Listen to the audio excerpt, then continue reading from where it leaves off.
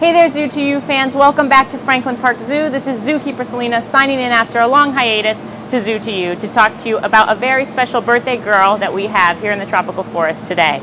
Zoo to You has done a lot of different animals, but today we're doing a new one, Cotton Top Tamarin. So you can see these guys having a little enrichment right now. It is going to be Wilma's birthday tomorrow. She'll be 17 years old, so this is perfect timing. We have a very specially delicious treat. They're getting a little bit of strawberry, some apple, some romaine lettuce butts with mealworms buried in the leaves, and a couple cherry tomatoes. And these guys love fruit, so they're going hog wild on it. And we've built, whoop, a bird went over, they got a little startled.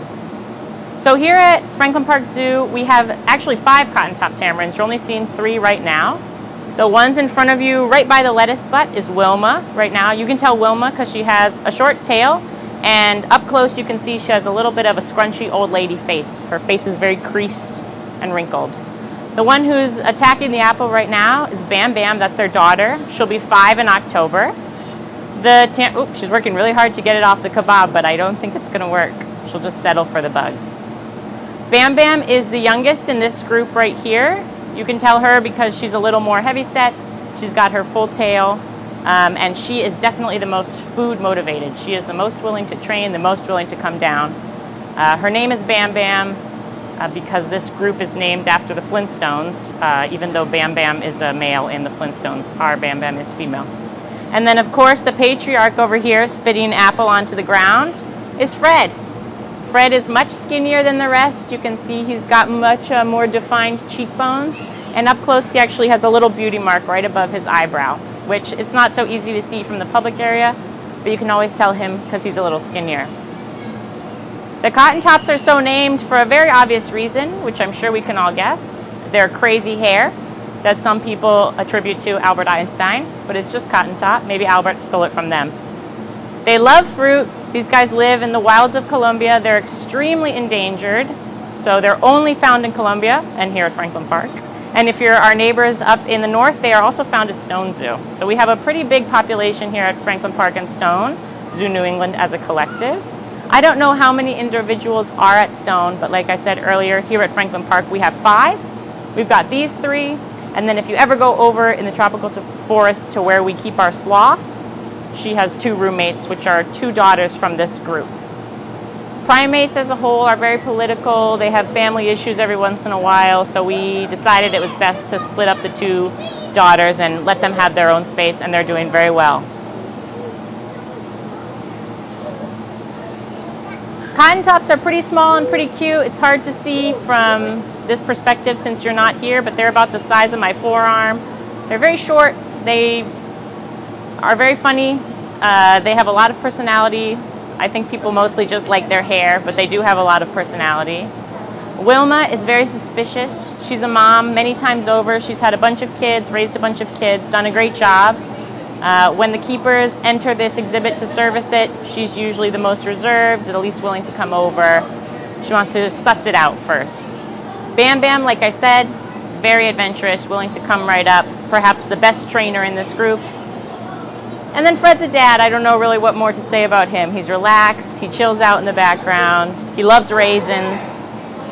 In the wild, these animals would be eating bugs. They'd be eating fruits, little berries, plants.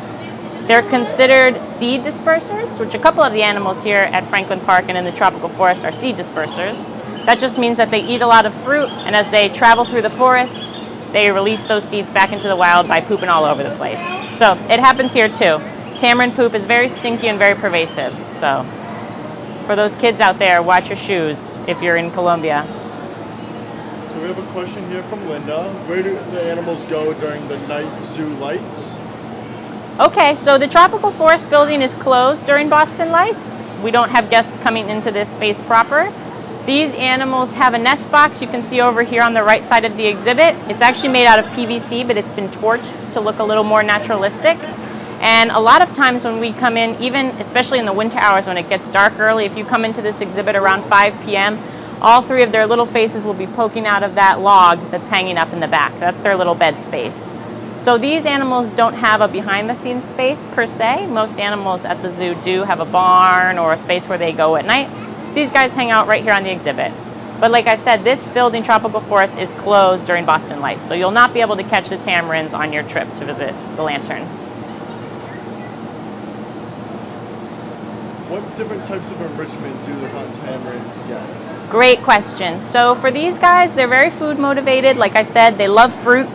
So right now what they're getting is we call these kebabs. We do this for a lot of animals.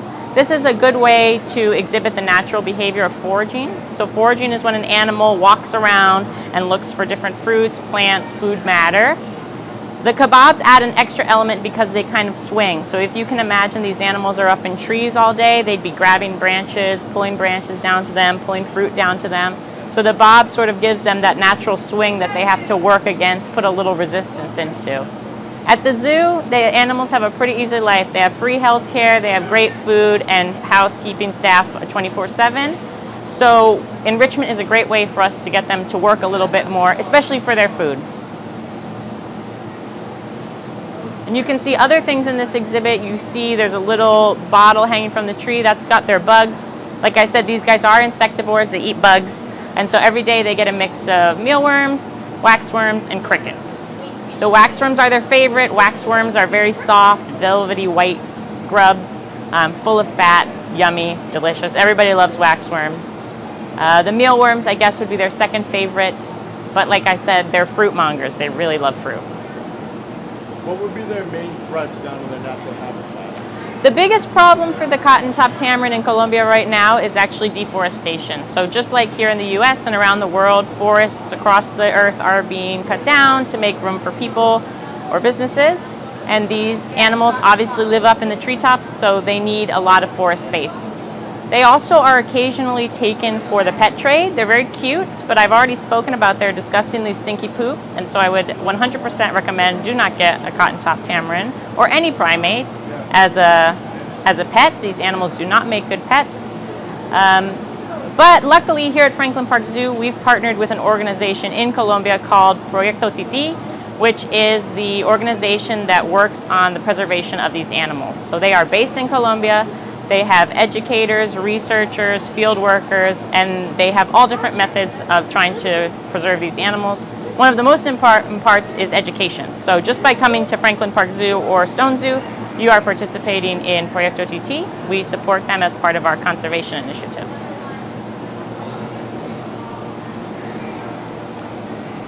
So thank you for joining us. We're going to shout out a happy birthday to Wilma. Wilma, let's get her close up. She's right in the middle. She's having a birthday strawberry. Happy birthday to you, the big one, seven, 17 years old. These animals only used to live to about to 13. So like I said, it's a good life at the zoo. Bam Bam will be five in October, so hopefully we'll be celebrating her then. But until then, Wilma, shout out to you. Happy birthday.